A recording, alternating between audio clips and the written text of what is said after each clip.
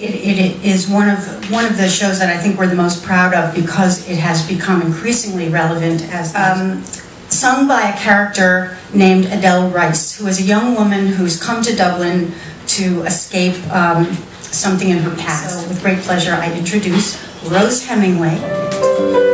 How can a girl who's from a someplace north of nowhere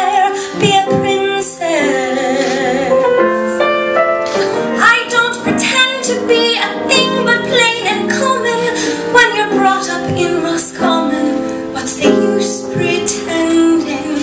Roscommon, raised a princess.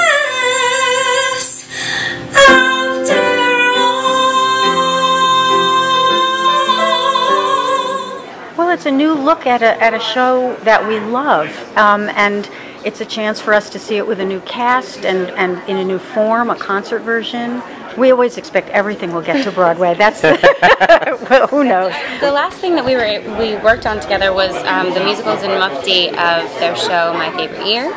We have uh, uh, Christopher Christopher Fitzgerald is our lead, uh, Alfie Byrne, uh, Douglas Sills, Marin Mazzie, uh, Colin Donnell, and uh, Jim Norton. And, and this this is a show that a lot of people know from the uh, original cast recording, but uh, you know it was it ran at the Mitzi Newhouse, you know, for part of the Lincoln Center season. So a lot of people haven't seen these songs or heard them performed live. It's wonderful to uh, to see these different incarnations. But for, for this one, it's it's just a one night only, two shows, March 15th. Puts prices on the produce.